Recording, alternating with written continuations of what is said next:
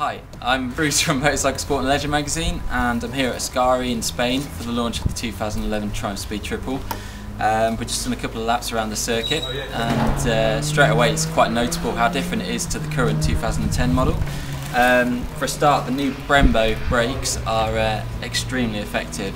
Um, fantastic power delivery and uh, confidence inspiring really. Brake really deep, consistent brakes, that's all good. Um, the frame's all new and um, basically you, you can feel that. They've, they've done a bit of mass centralisation, they've moved weight around on the bike to get more weight over the front end of the bike and uh, consequently the whole machine's a lot more stable and as well as that uh, the front end feels so much more controlled, uh, it feels really planted.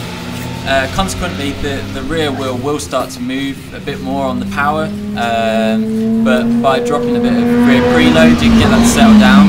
Um, the power is really impressive. Um, there's nothing necessarily staggering about the engine, but it's so linear that you can use it. Uh, it's very torquey, um, so you know, it makes the uh, the most of the gearbox as well. You can pretty much chuck any gear at it and it will pull, uh, which is all good.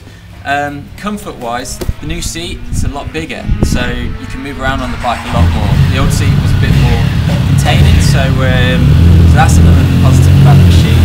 Um, but yeah, so um, first impressions are really quite with the bike. I'm just going to go out and do a few more laps of the circuit and we'll report back again soon.